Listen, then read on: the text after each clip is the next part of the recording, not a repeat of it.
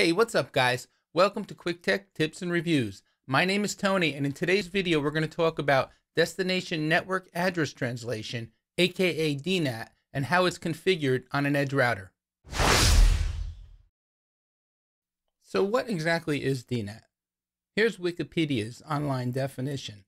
Destination Network Address Translation, DNAT, is a technique for transparently changing the destination IP address of an en route packet and performing the inverse function for any replies. Any router situated between two endpoints can perform this transformation of the packet. DNAT is commonly used to publish a service located in a private network on a publicly accessible IP address. So simply put, guys, DNAT is port forwarding. We've talked about port forwarding in a recent video. Let's take a look at how to configure DNAT on the EdgeRouter. Okay, so I'm logged into my EdgeRouter. I'm on the Firewall NAT tab and I'm working in the port forwarding area. And in my last video, we configured this port forwarding rule to pass traffic um, from port 80 onto my internal web server. Let's pull in that uh, image just to review what we did. So now what we're going to do is we're going to do the same thing, but we're going to configure this port forwarding manually using DNAT rules and firewall policies. So that being said, let me remove this rule and say apply so that we can start from scratch. Okay, so the first thing we want to do is come over to the firewall policies tab. And we want to add a rule to our WAN_IN rule. Now we did this in that last video as well. But remember, I deleted it because we talked about um, auto firewall versus um, not using the auto firewall. So for using DNAT manual port forwarding, we have to actually create the WAN_IN rule. So let's go to edit rule set. And we're going to say add a new rule. So we're going to put that same rule that we put last week. We're going to put it back now. Allow, I think we just said port 80. Traffic and we want to accept and it's going to be TCP. But remember, I said if you're not sure, you could say both TCP and UDP, but it is TCP. And then we're going to come over to the destination tab and we're going to say port 80 for the destination field. And we're going to say save. Once we have the rule created, remember we have to move it up above the drop invalid state rule and say Save Rule Order.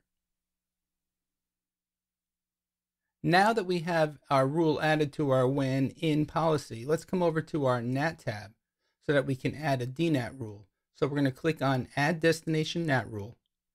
And for the description, we'll just call it Allow Port 80 Traffic. The inbound interface is going to be ETH0, which is my WAN interface in this case. Translations. Okay, so the translation address is going to be the internal web server that we want this traffic forwarded to. So it's going to be 192.168.100.10 in my example. And the port is port 80.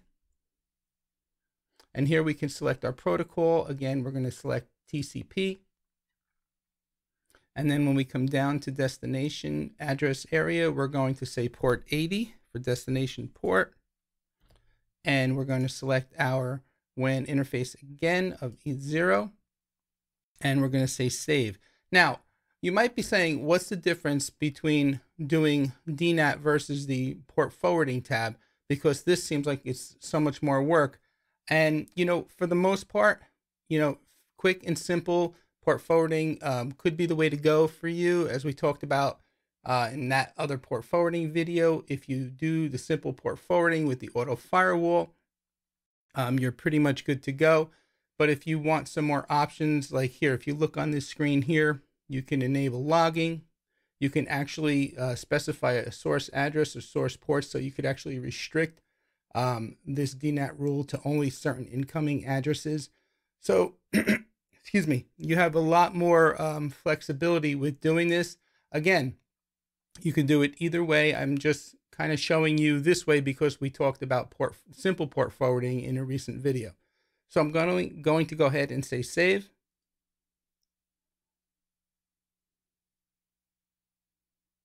And now we have our port forwarding uh, DNAT rule in place. We have our WAN_IN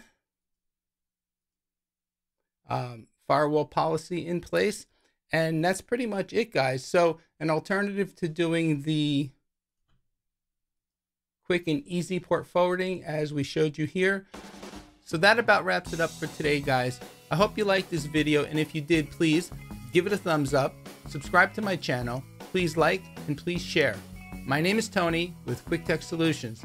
As always, I thank you for watching. See you next time.